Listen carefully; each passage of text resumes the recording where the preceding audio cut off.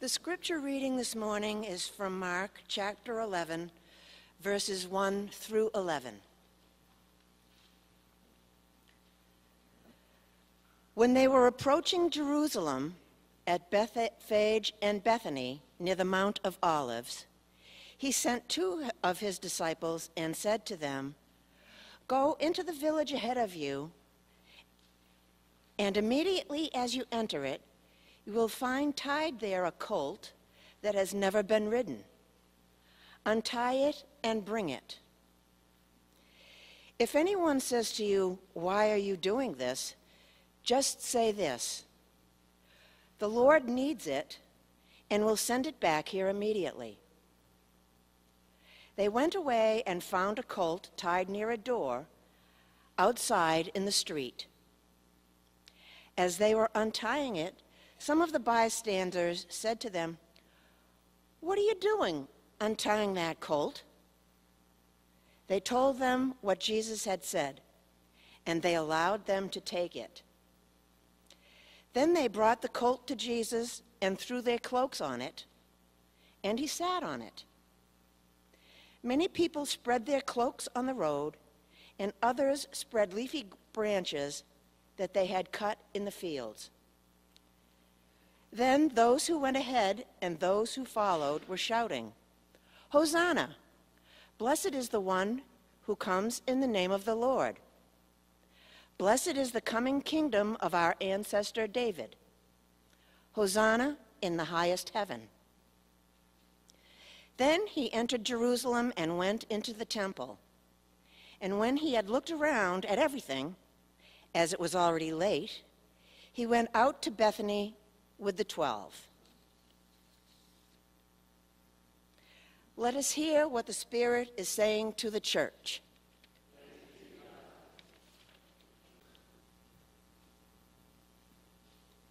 There were two processions in the city of Jerusalem that first Palm Sunday. We believe that Pilate would have come from the west side of the city, from the fortress at Caesarea by the sea, marching the Roman armies up to the city of Jerusalem for the Passover, and entering with great fanfare it was a show of force. Cavalry on their horses, foot soldiers armed. A demonstration to the whole city that if anything got out of hand, Roman power would quickly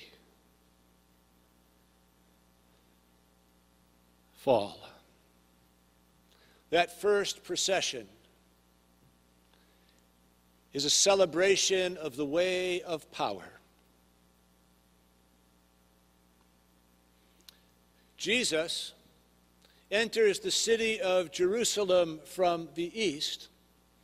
He would have come down from the Galilee region along the Jordan River Valley and would have made his way to the city from the east side. And just as the Roman procession is filled with power, Jesus' procession is different. Riding on a donkey, no swords.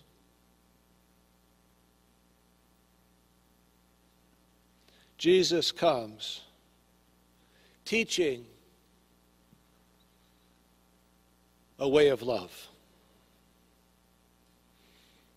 And just as those two processions were in that city on that day, those two forces would collide throughout Holy Week, resulting in Jesus' arrest and his execution. There were two processions in El Salvador in 1980. There was a young priest named Oscar who was the apple of everyone's eye, a bright, clergy person. But the way of power was the church interwoven with the wealthy few in El Salvador. And Oscar was the apple of their eyes. Sent him to Rome, where he studied, and came back to El Salvador.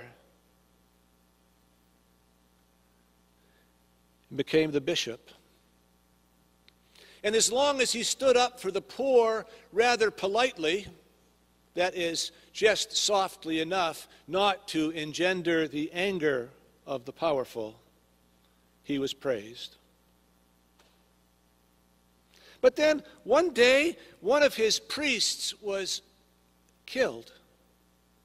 And when the bishop tried to get the nation of El Salvador to investigate it, they would not.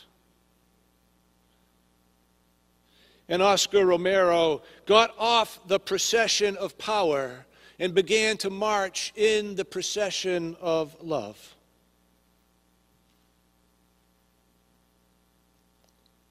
And like Jesus,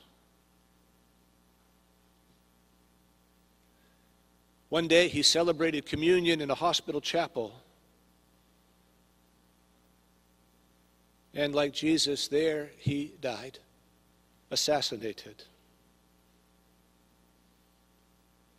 The last words of the words of his last sermon stick with us. One must not love oneself so much as to avoid getting involved in the risks of life that history demands of us. Those who defend, those who fend off the danger will lose their lives, while those who, out of love for Christ, give themselves to service of others will live. Live like that grain of wheat that dies, but only apparently.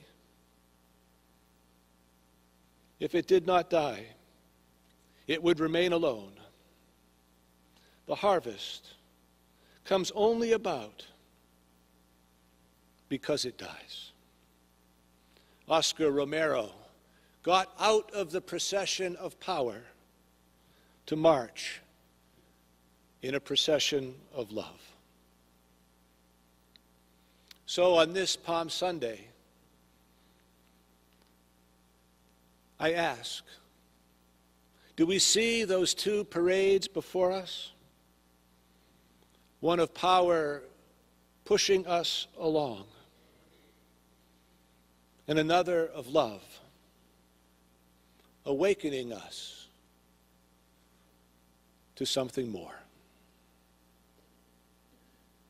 Amen.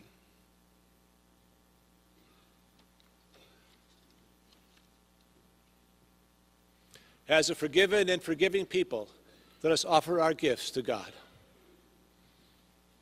Hi, I'm Peter Hey, the pastor at Wesley Church. And uh, I want to thank you for viewing this video clip of a recent service.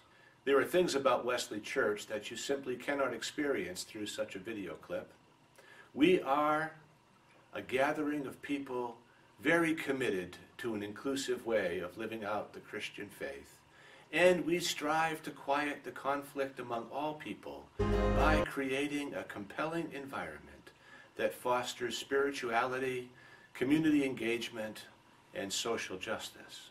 If this vision speaks to your heart as it speaks to ours, we hope you'll join us. We gather for worship three times over the course of a weekend at Wesley Church. At 4 o'clock on Saturday afternoons, we have a casual service where we pray together, we read scripture, and we share in the, in the message in an informal way.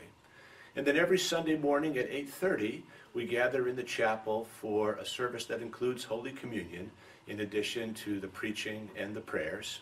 And then at 10.30, we gather in our main sanctuary where we are enriched by our wonderful pipe organ and our choir and our band. These are very powerful experiences of Christian nurture, and we would love to have you join us.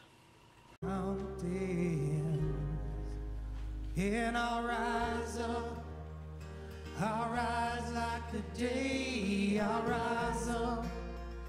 I'll rise unafraid, I'll rise up. and I'll do it a thousand times again. And I'll rise up high like the waves. I'll rise up in spite of